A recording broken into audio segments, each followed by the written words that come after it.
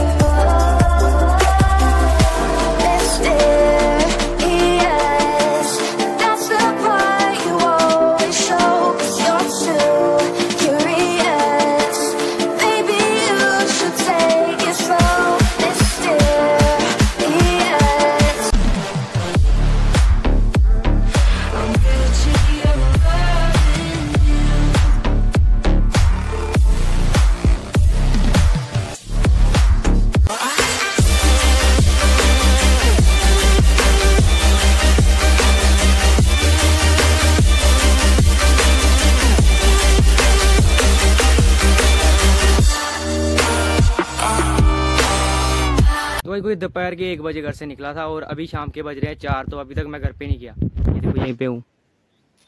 मनोवा में ही बैठा हूँ। ट्रैक्टर के साथ आया था तो अभी चार बज चुके हैं, साढ़े चार होने वाले हैं तो अभी निकलता हूँ घर के लिए। अब जा रहे हैं हम घर।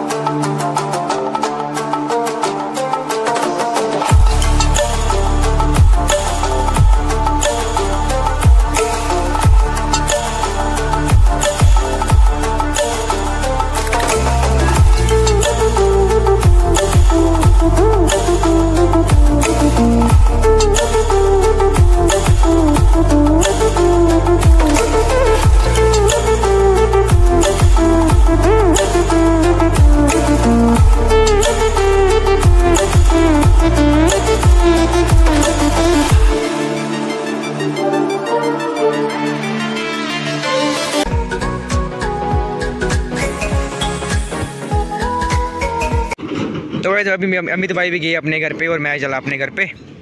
तो वैसे अभी अमित भाई भी अपने घर पे चले गए और मैं भी अपने घर पे आ गया हूँ। लेकिन यार, एक बात है, अमित भाई ने काफ़ी ज़्यादा आज जो है ना रोड इतना ज़्यादा खतरनाक था, लेकिन फिर भी उन्होंने ट्रैक्टर चला दिया।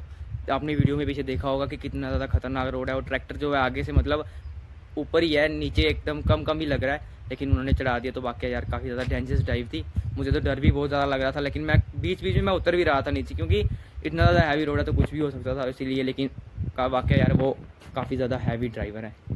तो इस ब्लॉग को यहीं पे करते हैं एंड इस ब्लॉग में ज़्यादातर गाड़ी ही आई होप आपको आज का ब्लॉग पसंद आएगा पसंद आए तो लाइक कर दो गाइस चैनल पर नहीं सब्सक्राइब कर दो गाइस मिलते हैं यदि नेक्स्ट ब्लॉग में। Thank you so much for the watching